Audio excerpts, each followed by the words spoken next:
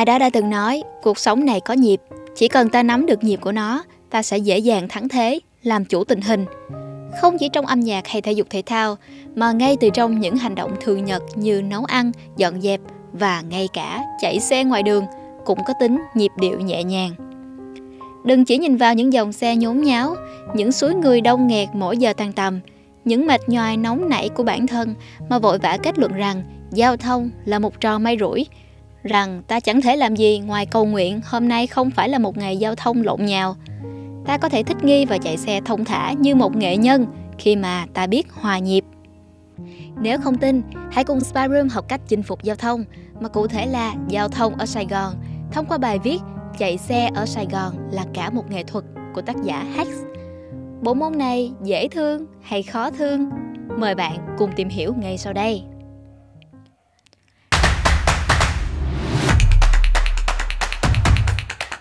Các bạn ơi, cuối năm rồi, Spyroom đang giảm giá có 102. Toàn bộ những đầu sách ở đây đều đang được giảm giá lên tới 70%.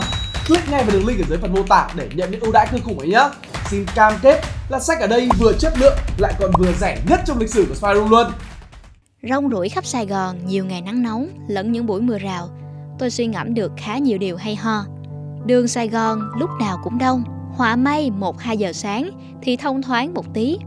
Chỗ nào đã tắt thì lúc nào nó cũng tắt, chỗ nào không tắt thì thỉnh thoảng cũng tắt. Chạy xe ở Sài Gòn cũng giống như đi tán gái, có nhiều đoạn biết rằng vào chỉ có kẹt cứng, chờ đợi đến ngao ngán nhưng vẫn cố mà lao đầu vào. Đường xá Sài Gòn cũng đỏng đảnh. Cái đoạn nào cần nó to thì nó lại bé tí tẹo. Mưa tí, ngập nửa bánh xe. Đoạn nào không cần to thì nó lại thênh thang như cánh đồng bất tận của Nguyễn Ngọc Tư vậy. Quả là biết trêu ngươi người khác. Đã thế, nó lại còn thất thường. Coi vậy chứ, không phải vậy. Cái đoạn nào xe cộ nườm nượp, chạy ao ao nhìn mà sợ thì lại an toàn. Đoạn nào đường xá thênh thang, vắng xe ít người thì y như rằng xe phải phẫu thuật giữa đường liên tục. Vì đường xá Sài Gòn như một cô gái thông minh khó tính, thế nên muốn vào ra nhịp nhàng cũng cần nhiều kỹ năng. Đường Sài Gòn chật, nhưng người Sài Gòn lại hay. Người Sài Gòn tức là người ở Sài Gòn, nhưng từ năm phương tám hướng đổ về. Giao thông Sài Gòn cũng vậy, người chả biết ở đâu đổ ra ào ào như thác.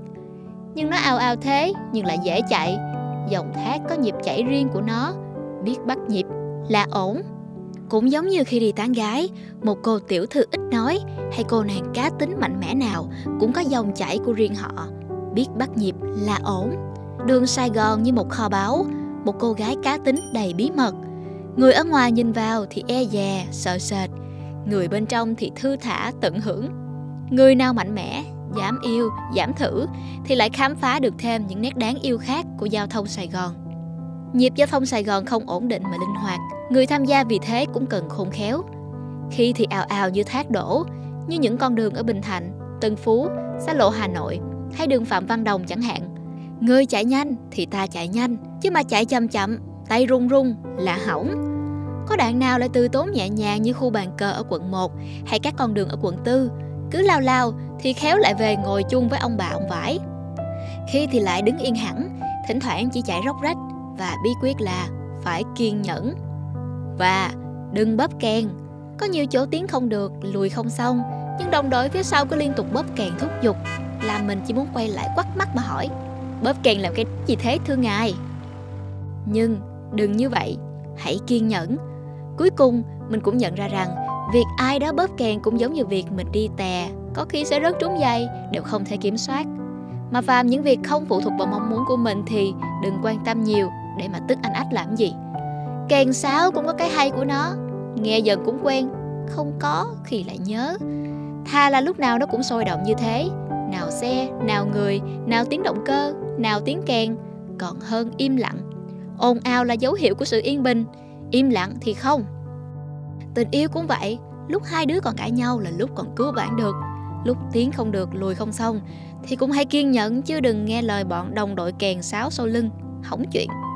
Nhưng nhiều lúc vẫn cần đồng đội, phàm những đoạn khó nhất gây go nhất, như những ngã tư, ngã năm, ngã bảy, hay như những bùng binh nườm nượp cổ xe, thì lại là những nơi an toàn nhất. Người xe kết thành từng hàng, từng đoàn chậm chậm mà tiến hào hùng như đoàn quân đang tiến về một miền trời lý tưởng cao siêu nào đó. Tôi nhớ có lần rẽ ở đoạn hàng xanh, một mình vừa chớm tới đã gặp một đoàn nào người nào xe như thác dữ cuồn cuộn trước mặt. ấy thế mà chỉ một lúc sau, người xe từ làng của mình từ phía sau tiến lên, kết thành một đoàn quân đông đúc, cắt phăng cái đoạn thác cuồn cuộn vuông góc kia. Tôi cùng những người đồng đội hất mặt lên trời mà tiến lên, bỏ lại đoàn thác bị cắt đứt đôi dòng, nay phải dừng lại chờ thời cơ. Có lẽ khi người ta cần nhau, người ta thường tử tế hơn hẳn, để rồi khi đã qua được hiểm trở, khi đã tách đoàn mà tự do di chuyển, người ta lại dễ làm tổn thương nhau hơn. Ấy là khi đã qua được những đoạn bùng binh hùng vĩ, mọi người lao đầu mỗi người một đường, rồi lại va vào nhau, làm tổn thương nhau. Có khi vì thế tàn biến mãi mãi. Giao thông ở Sài Gòn đầy tính triết lý cao siêu, nhưng cũng dần giả chở búa. Đường Sài Gòn chật, người Sài Gòn vội. Thế nên, ở những ngã tư, kẻ thì đèn đỏ còn vài giây đã lao tới, người thì đèn vàng đã hết nhưng vẫn lao qua. May sao những kẻ có tình yêu mãnh liệt với thời gian như thế này vẫn chưa chạm vào nhau để cùng hát lên một bài ca kèn sáo trên những chuyến xe rồng chạm trổ tình xảo. Dừng đèn đỏ mà quan sát cũng có nhiều cái thú. Nhiều người chạy hẳn lên vạch người đi bộ mà đậu, chẳng biết để làm gì. Đậu xa quá tầm đèn tín hiệu, đèn có chuyển xanh thì cũng chưa kịp đài ba. Thế là lúc nào đậu trên người khác nhưng vẫn bị bỏ lại. Khôn lỏi cũng chẳng để làm gì. Nhiều người cũng vô ý, nhiều người nép sát bên trái chừa đường cho những người quẹo phải, nhưng lại có vài kẻ sấn tới mà đậu trình in ở đấy. Họ tưởng người khác là kẻ ngu, có chỗ trống nhưng không đậu, nhưng lại vô tình trở thành những kẻ ngu trong bộ phim của những người xung quanh. Rồi thì càng sáo sau lưng lại âm âm, thỉnh thoảng vang lên câu Đờ mờ né ra cho bố mày rẻ. Giao thông Sài Gòn chợ búa nhưng thân tình, Quen dân cũng bật cười cho qua chuyện chứ không cay nghiệt gì.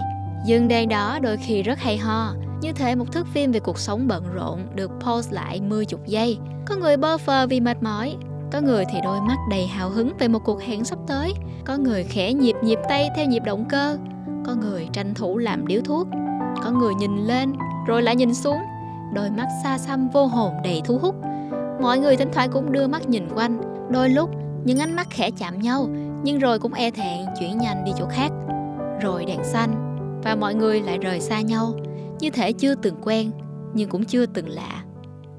À có một vài chuyện khá hay ho ở ngã tư mà mình may mắn được gặp. Hôm nọ, đang dừng đèn đỏ Thì có một chị rướng lên quá vạch, Tới chỗ một bác bán vé số ngồi xe lăn. Rồi chị móc tiền ở túi áo khoác ra dúi vào tay bác bán vé số ấy. Bác kia không nhận, nhưng rồi cũng nhận với khuôn mặt của một đứa trẻ mồ côi đã rất lâu rất lâu mới được người lạ cho quà bánh, trông rất cảm động. Rồi chị kia nhìn đèn đỏ, còn hơn chục giây, chị vội mở túi lấy thêm vài tờ polymer nữa, dưới vào túi áo bác bán vé số. Chị ấy chạy chiếc Dream, quần áo cũng chẳng có gì đặc biệt, trông như chị chỉ có tình người, rất nhiều tình người, nhưng bấy nhiêu là quá đủ. Đường Sài Gòn chật, nên người Sài Gòn hay luồn lách có thể khi vừa mới bước đến Sài Gòn, với lý tưởng của một con người văn minh cấp tiến, bạn sẽ nhìn những người leo lề với ánh mắt khinh bỉ. Nhưng rồi một ngày đẹp trời nào đó, bạn cũng sẽ leo lề như vậy. Nhiều khi người ta muốn làm người tốt, nhưng hoàn cảnh không cho phép. Có nhiều khi ta muốn thay đổi thế giới, nhưng nhận ra chỉ riêng mình là không đủ. Và khi ta làm người tử tế thì chỉ có thua thiệt, và mãi như vậy. Người Sài Gòn cần một cái gì đó công bằng hơn – tôi không leo thì anh cũng không leo. Chứ thằng leo lề đi nhanh hơn, đỡ nắng hơn, đỡ tốn xăng hơn. Thì làm người tử tế cũng chỉ chịu thiệt thòi. Và vỉa hè cũng đầy người xe, chứ chẳng được trống trải như lý tưởng của mình. Thế rồi người ta lại thi nhau leo lề. Rồi bạn cũng sẽ vượt đèn đỏ nữa. Hoặc hòa cùng dòng người băng qua khi đèn đỏ còn tận mấy giây. Vì nếu bạn ở lại kèn sáo vang lên sau lưng sẽ khiến bạn bị nản lòng. Hoặc nếu bạn thấy vững chí quá thì họ đâm đích bạn luôn rồi quay lại chửi bạn một vài câu văn hoa nào đó nữa. Mặc quần áo giữa những người cởi truồng thật khó, bạn biết mà. Giao thông Sài Gòn hay hay, mưa cũng vậy, và cặp đôi này thường đi chung với nhau. Những lúc bạn nghĩ rằng sẽ mưa và mặc sẵn áo mưa, thì đi từ đầu thành phố đến cuối thành phố cũng sẽ chẳng có giọt mưa nào. Nhưng chỉ cần bạn dừng lại cởi áo mưa cất đi là nó sẽ mưa thật to. Có nhiều khi mưa nhỏ, rồi nhiều người cũng tặc lưỡi bảo là rang tí nữa, để khi đến nơi thì ướt đẫm cả người. Có nhiều khi mưa to nhưng ào một cái và chẳng trở tay kịp gì cả. Có nhiều khi bạn nghĩ rằng bạn biết khi nào mưa nhưng thực tế lại không phải vậy. Cũng giống như tình yêu vậy. đường Sài Gòn chật, người Sài Gòn đông, nhưng người ta loay hoay mãi, vẫn chẳng tìm thấy nhau. Đường xá Sài Gòn là vậy, có khúc trầm, có khúc lại bổng, có khi rất du dương nhưng lại nhanh chóng dồn dập, nhịp nhàng nắm bắt và hòa vào nó. Đó là cách sống dễ chịu nhất với giao thông Sài Gòn. Và để nhận ra, Sài Gòn trong cả những cái bất tiện, đổi cách nhìn lại thấy nhẹ bẩn, dễ thương. Cảm ơn các bạn đã xem video này của chúng mình. Trên đây là nghệ thuật chạy xe ở Sài Gòn qua góc nhìn của tác giả Hax. Nếu như bạn có những chia sẻ khác thì đừng ngần ngại chia sẻ với Spy Room chúng mình ở bình luận bên dưới nha. Hẹn gặp lại các khán giả của Spy Room trong video tiếp theo. Bye bye!